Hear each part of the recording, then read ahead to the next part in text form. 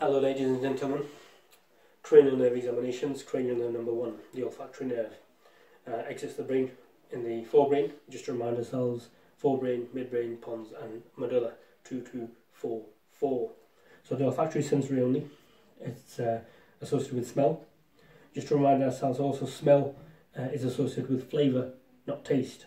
So if a patient presents to you suggesting that they have their, their, food is no longer as flavoursome as it otherwise would be, you suspect cranial nerve number one, not cranial seven, facial nerve, which has got the anterior aspect of the two thirds for its sensory uh, component. Now, the uh, cranial, the olfactory nerve, what we're going to do is ask the patient if, uh, first and foremost, wash their hands, introduce ourselves, tell them what we're going to do. So, hello there, I'm Zahir Abbas, I'm your osteopath for the day. Uh, can you confirm your full name and date of birth for me, please? Yeah, Joe Blog, 1192. Uh, Joe, uh, I'm I good Mr. Lodge yeah, Joe? No. Joe was no, no, no, wonderful, thank you, Joe. Um, Joe, do you have any issues with your smell at all?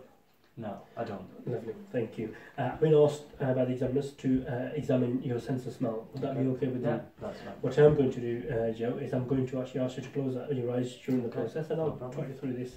Um, and I'm going to place a smell just uh, under your nose. okay. I'm going to ask you to identify.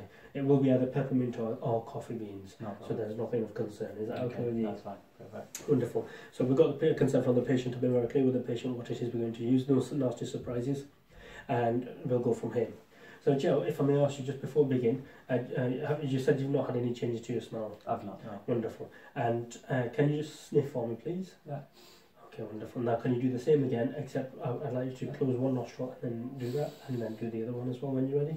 Lovely. And that's me just assessing that uh, both nostrils uh, are open and therefore the sense of smell won't be um, affected, thus giving false positives. Okay, Joe, uh, if you're ready, shall we begin Yeah, sure. from here? Lovely. So if I may ask you to just close your eyes and as, you- as this Peppermint. Wonderful, lovely. Can I ask you now to uh, just uh, block one nostril for me, please, sir? That's lovely. And Coffee. lovely. And if you do the other one for me, please. Okay, lovely. Peppermint. Wonderful. You can open your eyes. Thank you very much.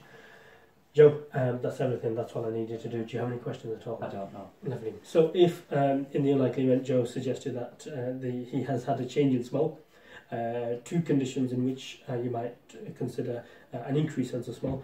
Uh, in Joe's case, being male, uh, epilepsy is a possibility. If this was a female patient, then it could be epilepsy plus or, or otherwise pregnancy, and hi- and that's hypernosmia. Uh, on on the other spectrum, on the other end of the uh, spectrum, you've got anosmia or hyponosmia. Now let's always consider basics uh, as common cold, viral infection, uh, and then we go into polyps, nasal polyps. Um, and aside from that, then we can go into more sinister causes, and, and, and you're looking at the likes of um, CJD, dementia, or Alzheimer's are uh, a part of this whole process.